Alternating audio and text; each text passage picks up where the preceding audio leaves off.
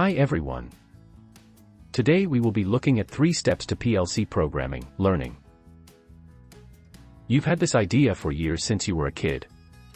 You want to be an electrical engineer, and you're finally going to follow through on it and learn PLC programming to start your career off right. What? That's what you thought, anyway. But then you started Googling around, trying to figure out how to begin learning PLC programming, and it sounds like it will take forever. How are you supposed to know which software is the best option? Which hardware should you buy? We will look at three steps to kick off your PLC programming and determine if this learning is proper for you. Let's get started. Detailed information contained in this video can be found at accautomation.ca. A link has been put in the description below. You will also find other links for information and downloads on the website that will be a benefit to you. Number 1. Focus on one PLC. What is a PLC? PLC stands for Programmable Logic Controller. These devices are used in many industries and serve as the central communication hub for machines and equipment. The PLC takes instructions from a computer program, executes them, communicates with the connected system. You can learn how these devices work by installing software on your computer, purchasing hardware, and practicing with it.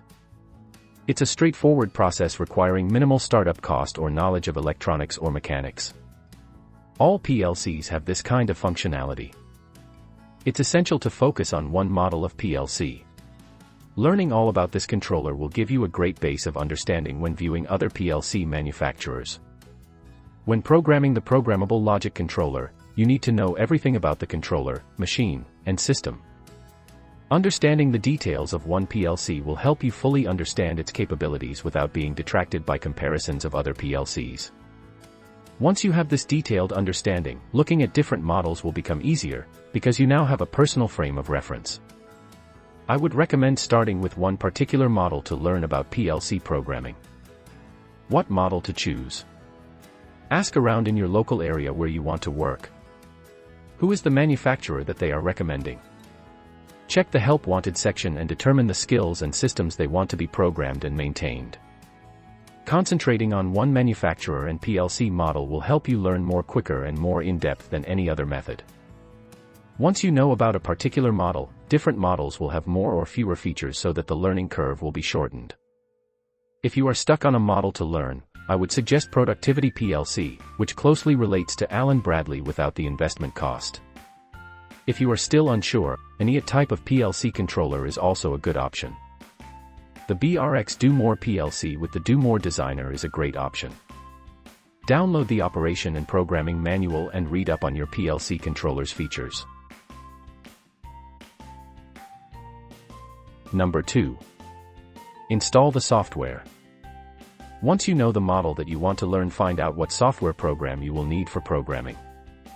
Every manufacturer has its programming software for its PLC controllers. Efforts are being made to standardize this through industry standards like IEC 61131-3. Codesys has this compliance and has different hardware developers globally, but this still has not hit the mainstream. You should be able to try out the software free of charge. A good starting point is downloading a trial version of the software for whichever PLC you try to learn how to program. Sometimes you can download the complete programming package like the Productivity Programming software or the Do More Designer software free of charge. If you cannot find a demo version of the software, contact your local distributor and see if they can get you a copy. Installing the software will let you see if the software is what you need and if you like PLC programming. It is better to find out now than after you have spent your money on hardware and software that will gather dust typically you will start learning ladder logic programming. This is the most common type of programming language for PLC. Most of the software will be able to use this on your controller. Spend time in the help menu of the programming software. You will usually find a variety of quick starters to help you understand and learn this software. Number 3. Practice makes perfect. Software packages like Productivity Programming and Do More Designer have built-in simulators. This will allow you to run your ladder logic sample program on a simulator. No hardware is required to practice and see your program run. The next step would be purchasing the physical hardware so that you can practice wiring and programming your new PLC. Practice your ladder logic programming skills and have something to use as a test before tackling a large job. Practice on small projects or simple circuits until you are ready for more significant tasks like teaching others or replacing malfunctioning equipment at work. Three-dimensional simulators are also available to help you improve your programming skills. EasyPLC Software Suite is one of the best low-investment programs that will allow you to practice on pre-built machines. You can also make your own. This software will help in your program development skills. There are several things to remember while looking for hardware and PLC basics programming information. Make sure that the information you obtained is related to your hardware and software setup. Look through the PLC forums to find sample programs to try and duplicate on your hardware. Review the basic information for every PLC. Don't be afraid to take the plunge. It's natural that you might feel a little overwhelmed when you start. Concentrating on the one controller model and software will focus your energy so you can know everything about the PLC. You will then have a reference to learn about other systems and software. Once you get some experience and start producing quality work, it'll feel great.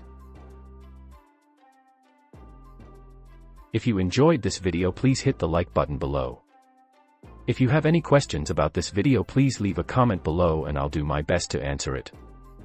If you want more information about us or you want to get our free ebooks on numbering systems or robust data logging, please click on the link in the description below to get it. A new video is put out every Monday so make sure you hit the subscribe button so you can get more videos like this in the future. Remember to hit the bell beside your subscription to receive the notifications. Thanks so much for watching. I'll see you next time. Stay safe.